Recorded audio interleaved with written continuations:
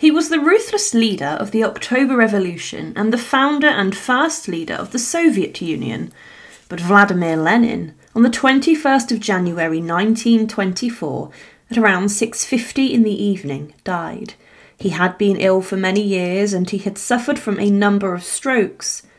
There was a belief that an assassination plot he survived at the hands of a female assassin named Fanny Kaplan may have caught up with him eventually as bullets were never removed from his body, as he was so fearful that a doctor would finish him off.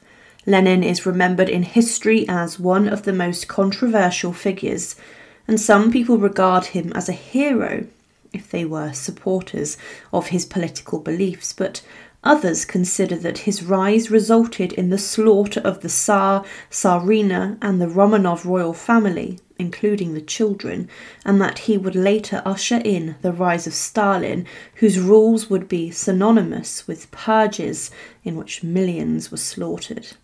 But one of the strangest and most macabre spectacles which can still be seen today is the body of Lenin, which remains a whole century after his death on public display inside of his mausoleum.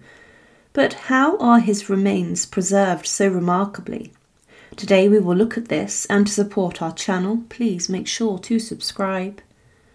In March of 1923, Vladimir Lenin had a third stroke, and he then lost the ability to talk and speak.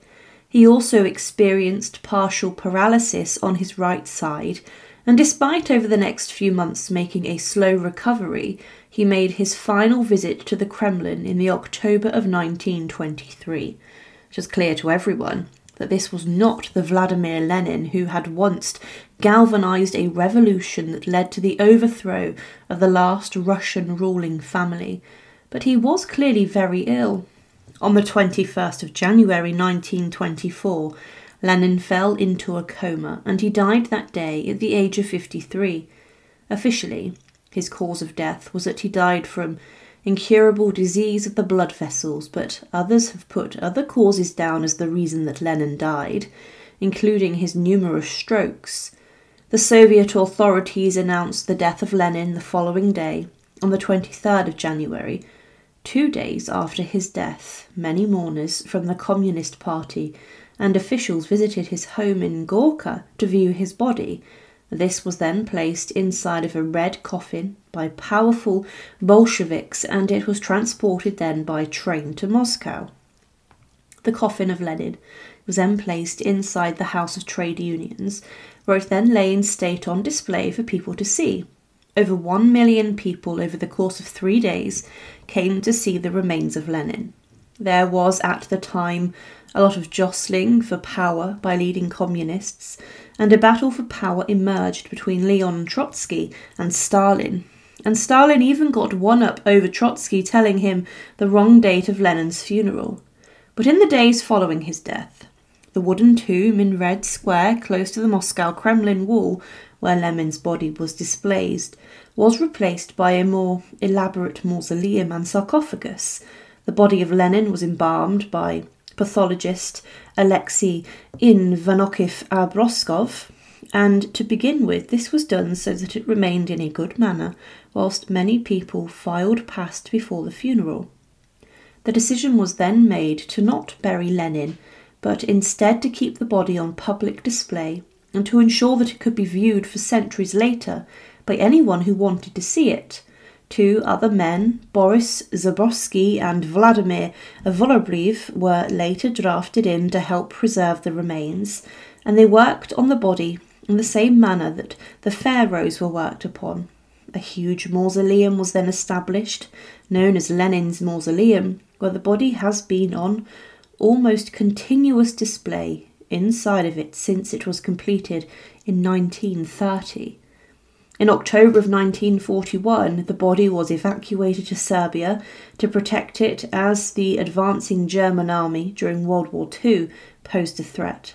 And following the war, the body was then returned to the mausoleum and the tomb was reopened. Following the death of Joseph Stalin, Stalin's body was embalmed and placed on public display next to Lenin's too, but this would then be interned in a tomb at the Kremlin wall necropolis. But there were a number of problems with keeping Lenin's body in a good manner.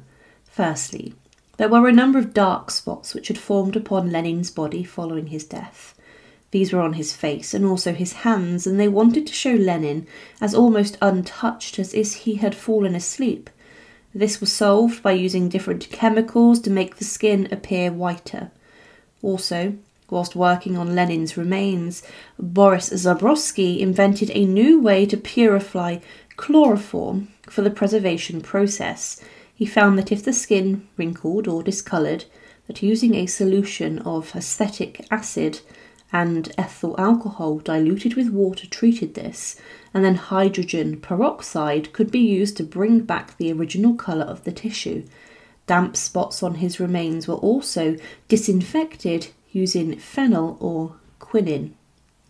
Every year, the remains of Lenin are soaked in a solution of glycerol and potassium acetate to keep the body looking fresh and clean, it is removed briefly off display whilst this takes place, but there are parts of him which are fake. Synthetic eyeballs were placed inside of his orbital cavities to ensure that his eye sockets did not collapse. As mentioned, his remains are still on display today, and the folk who are responsible for this today are known as the Centre for Scientific Research and Teaching Methods in Biochemical Technologies. There are around six anatomists and biochemists and surgeons known as the Mausoleum Group who constantly maintain the remains. They also help preserve the bodies of Vietnamese leader Ho Chi Minh and the remains of Kim Il sung and Kim Jong il, the North Korean dictators. The scientists keep a close eye on the shape, weight, colour, and suppleness of Lenin's corpse and they have developed their own embalming methods around it. When Lenin's body was originally embalmed, the cold Soviet winter helped to protect and preserve the body, but the major arteries of Lenin had been slashed and cut, and the blood vessels cut and the body relieved of blood.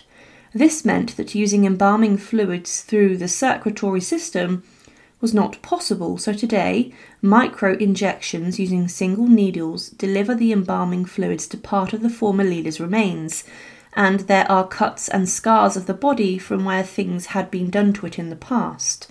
Through this, a double layered rubber suit has been created to keep a thin layer of embalming fluid covering Lenin's remains at all times during public display.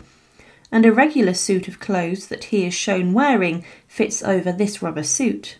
The body does become re embalmed every few years, and it takes roughly six weeks to complete this. Every day there are inspections carried out to ensure that nothing is going wrong and that no decay is setting in amongst the body of Lenin. His body needs to be kept from drying out so it doesn't mummify either. Over time, there has been specific work done on different body parts.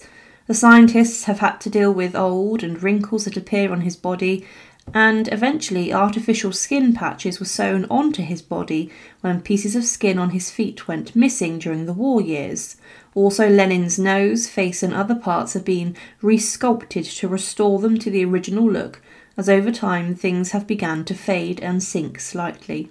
It was a few years back revealed that the true cost of preserving his embalmed remains are roughly $200,000 a year, and some inside of the land question whether Lenin's remains should be laid to rest once and for all.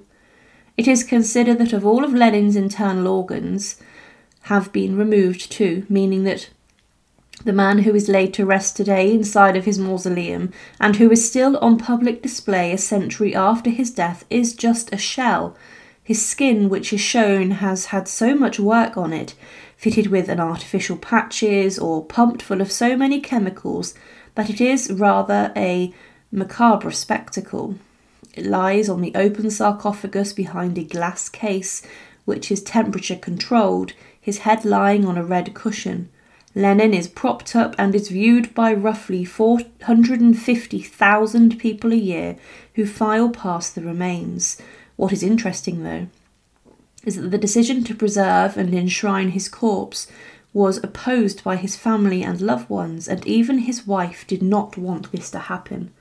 Lenin wanted a simple burial or cremation, but 100 years after his death, his remains are still pumped full of fluids to keep him in a relatively good state. It's believed he is kept in this way as a sign of the Soviet Union's formation and of communism.